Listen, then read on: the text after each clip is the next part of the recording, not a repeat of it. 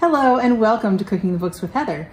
Today we're going to be working from the Outlander Kitchen Cookbook because the day we're filming is the day season six comes out and I'm really excited. Um, so we're going to be making cheese savories, which are just like the gougere that we've made. I think we've made two different recipes before. Each one is slightly different, so I didn't think it would be too repetitive, um, but we also really, really love these and they're a great little snack. So these ones are uh, more of a plain gougere cheese savory. Um, they don't have any meat in them like the ones that I made from uh, Brown Sugar Kitchen. Uh, and the cheese is all going in them instead of on top, unlike the ones that I made from uh, Drinking French. So we're gonna go ahead and get started. It's really simple, comes together pretty quickly, and I'm gonna try to do it without a mixer this time. I'm gonna try to do it all by hand. We'll see. Um, in my saucier, I chose this because you have to sort of stir a lot and it doesn't have um, any corners where things can get stuck. So I really like that. Uh, I have some butter. This is unsalted butter. She doesn't say unsalted butter, but there's a lot of salt in the cheese and then we're adding a little bit of salt, so I don't think we really need salted. Um, I'm adding the salt and some mustard powder. I'm using Colman's, adding to this. And then we're also gonna add some warm water. It's still pretty warm. And now what we're gonna do is go over to the stove and bring this up to a boil at which point we'll put our all-purpose flour in and beat it up on low heat. So we're gonna bring it to a boil on medium-high, and I think we'll sort of just do a single shot where you can see what we're doing over my shoulder at the stove. So heading over to the stove. So we're getting there, we're almost to a rolling boil. I'm just gonna kind of stir to get that butter all melted. I think that's a pretty, pretty good boil right there. Um, and so we're gonna turn the heat to low. Go a little bit, little bit above lo my lowest, which is pretty low. We're gonna add all of the flour, all-purpose flour, and we're gonna stir this until it makes sort of a smooth ball of dough that comes away from the sides. She says one to two minutes. You really want a nice sturdy spoon for that. Seems pretty, pretty good to me. I would call that done. So there we go. Now, I'll turn this off and we're going back over to our counter to deal with the rest of the ingredients. Okay, so she says to transfer this to a large bowl, which if you're gonna do this by hand, if not, you transfer it to your the bowl of your stand mixer, which is much easier. But I'm gonna do this by hand, be a little bit more period ac accurate with this one. So I have my dough here, and now we're going to add, uh, oh, we're supposed to beat it with the wooden spoon until slightly cooled for two minutes. I don't know how long that's been, but if I keep going, I won't have the strength to do this by hand. So we're gonna start putting the eggs in. They're still pretty cold, so. Um, so we're gonna add these eggs one at a time, beating until they're all absorbed.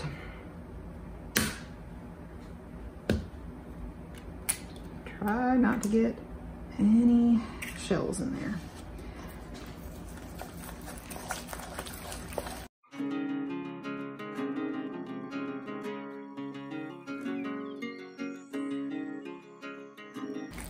Now she does say to use large eggs for this and that if you use extra large, that too much egg will make the batter deflate. Um, I usually keep, keep large eggs in my house, so I didn't have to get anything special, but she says if you can't find large, use medium instead of extra large, so.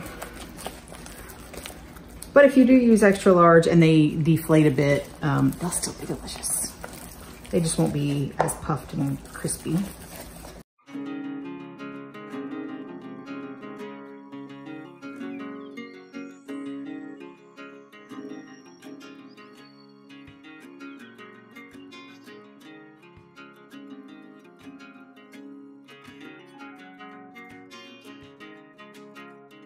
Supposed to, she says it should hang from the spoon in a ragged V.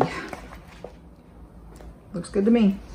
Um, those are all of our eggs. And now we're going to gently fold in the cheese. I might go get a silicone spatula to help me with that, just to keep scrape down the sides and get this all mixed in um, more easily. We'll see.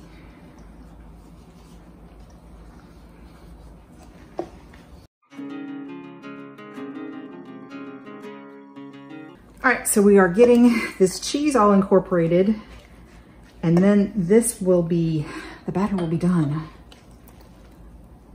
And I think that is, that's good for me. Now, um, she says to pipe these with a medium round tip in a pastry bag. But this is for my family and I don't really care how kind of ragged they look. Um, but I'm gonna try, she says you can also drop them by a, by teaspoonfuls onto your, your parchment paper. Um, they, she wants them to be about a ping pong ball size, but you can make them any size you want, even up to sort of a sandwich, a, a larger size that you can make a, a sandwich out of. Um, I'll, I want them kind of medium, so I'll do them probably about, about ping pong ball size. I think I'm gonna see how well my scooper does with that instead of um, a teaspoon. So we get that. I might have to use more than one baking sheet for this, but I have one of them already set up. I'm gonna get that in the oven first before I deal with any more. Um, they're supposed to be at least an inch apart my oven is preheated to 425 degrees, but it's not gonna stay that way the whole time. So you're supposed to cook these at um, 425 for 15 minutes, but don't open the oven until after that 15 minutes is over. Then open the oven and rotate it and then turn the oven down to 350. And if you need to do a second sheet after that, turn it back up to 425, wait till it gets there, and then do the same thing. So, so I'm gonna make this, this is sort of a cookie scoop size. And we're gonna try to get them about an inch apart. So I think we can do, uh, it's a little bit more than an inch, but I think we can do about a dozen probably on this tray think she says it makes, let's check. She says it makes two dozen. So we'll see if we get that amount, less or more.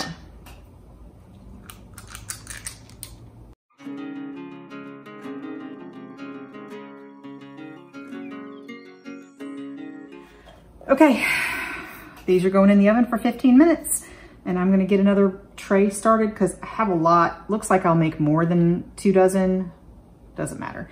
Um, you bake them after you turn the heat down for 10 to 15 minutes or until they're golden, lightweight, and hollow feeling. So basically until they're done. That takes a little bit of um, judgment, shall we say. But I've made these before, so hopefully I'll know that they're done or not. So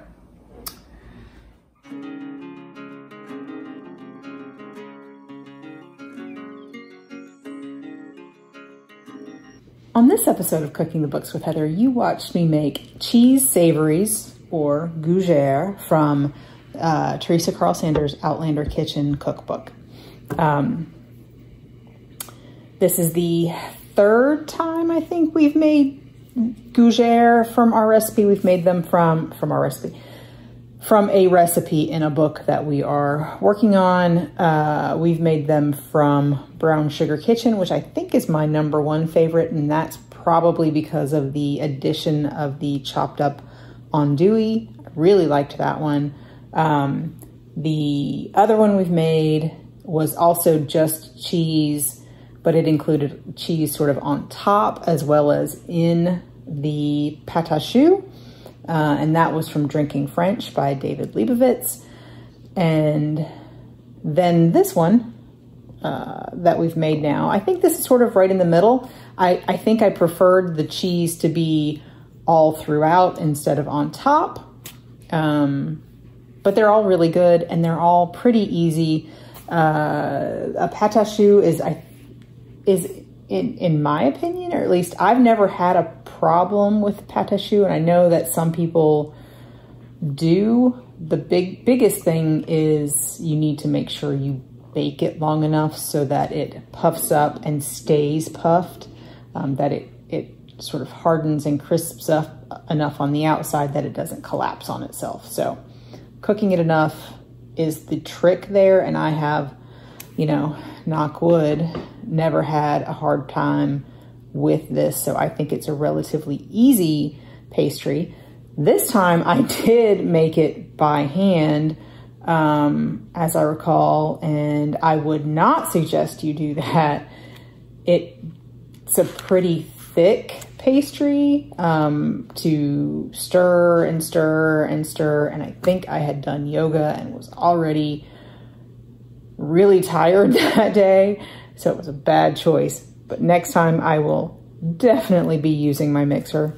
But I did show that it can be done with just a wooden spoon, right?